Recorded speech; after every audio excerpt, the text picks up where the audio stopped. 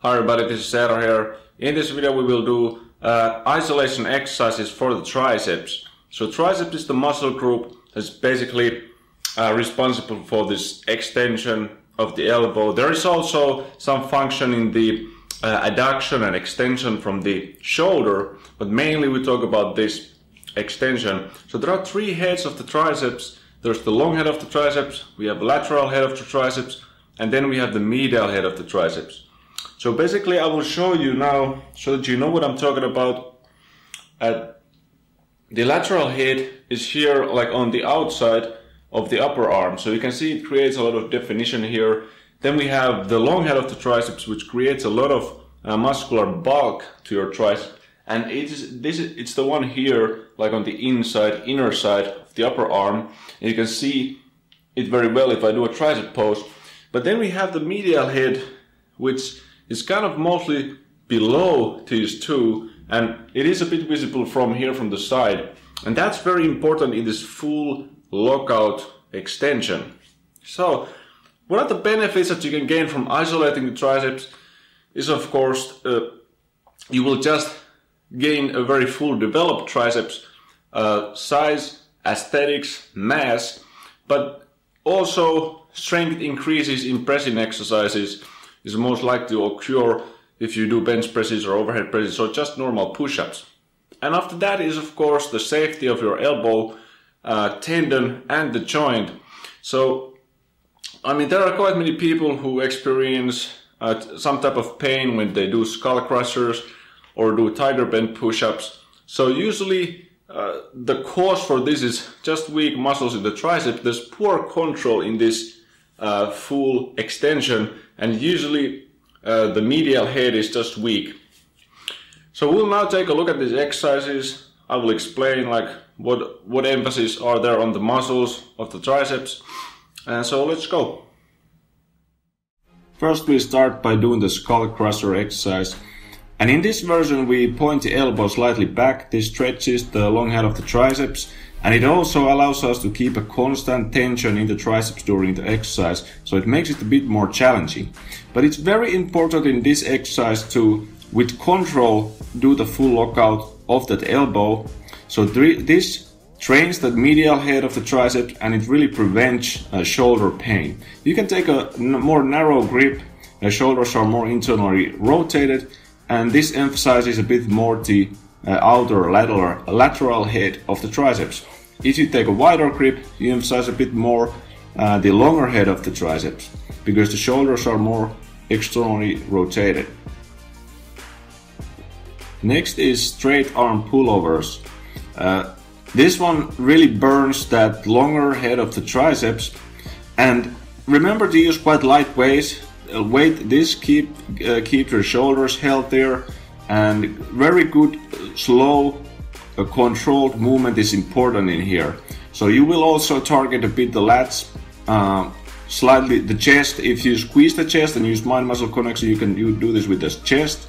And you also use the serratus and you stretch uh, the rib cage. But really really good exercise for the long head of the triceps and also for the shoulders. So this is the skull crusher variation with the dumbbells. And know, it's uh, it's otherwise the same exercise, but there's a bit more stability in here that you need to use, and I think it's a bit more challenging than done with the barbell. But it also allows your wrist to be in a more natural position if you if you feel wrist pain during uh, the skull crusher with the barbell.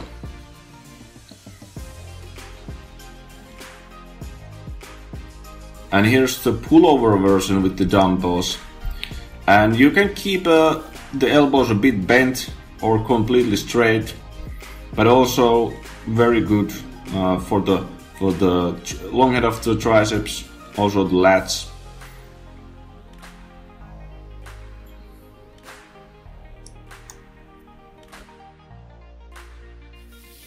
Next exercise is a body weight tricep isolation this is the tiger bend push-up.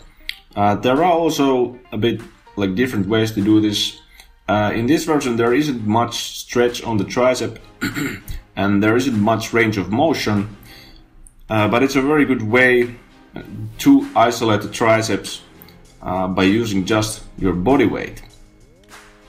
With this one, you can also vary uh, the width of your arm. They can be shoulder width, wider, or very narrow, sort of like in the in the diamond push-up.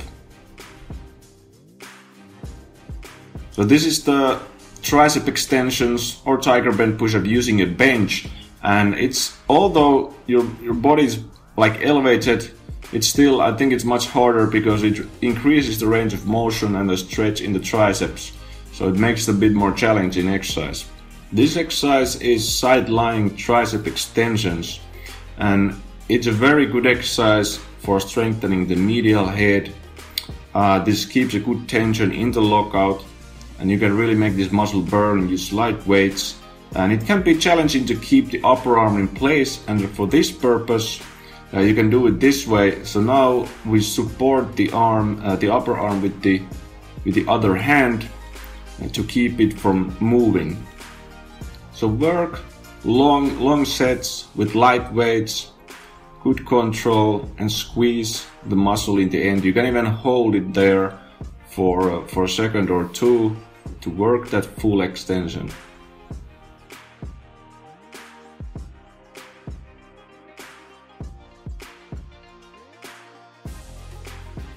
This is the uh, behind the back press or barbell kickback. So you keep uh, the straight arms all the time and just extend from the shoulder, and it really trains that uh, longer head of the triceps again, but in, in a shorter position. But all heads of the triceps do get worked when you do this. It's a bit challenging though, but it develops mobility in the shoulders as well, and you can like keep uh, keep more narrow grip or a bit wider depending on your mobility and you can also try overhand grip position. Now we do tricep kickbacks with dumbbells and really it, it trains all the heads of the triceps but uh, like holding the arm in extension and squeezing in the end is really good for the long head of the triceps again because you need to keep the arm in extension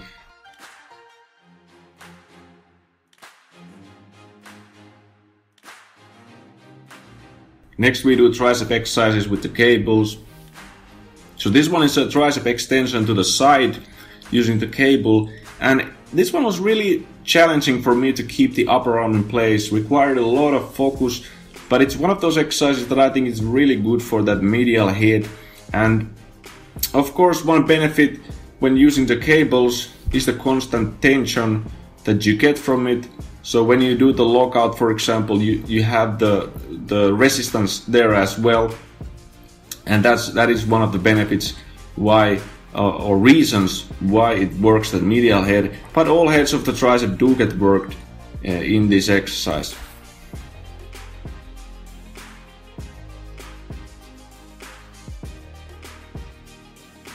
So this one is a tricep kickback with the cable and once again cable just helps you to keep constant tension even uh, in the in the lower portion of the repetition. I think the best way to do this is to basically grab the cable uh, and, and not use any handles. The last exercise is the tricep overhead tricep extensions with the cable. Uh, stretches the long uh, long head of the triceps, and this is a bit challenging once again to do without jerking. So remember to keep good control, squeeze every repetition in the end. But this is the end of the video and I hope you, you realize that there are many ways you can train the triceps, emphasize different areas and understand why it's really important to practice that controlled extension of the uh, elbow joint so because it keeps your joints and tendons safe. But that's it and I'll see you soon. Take care.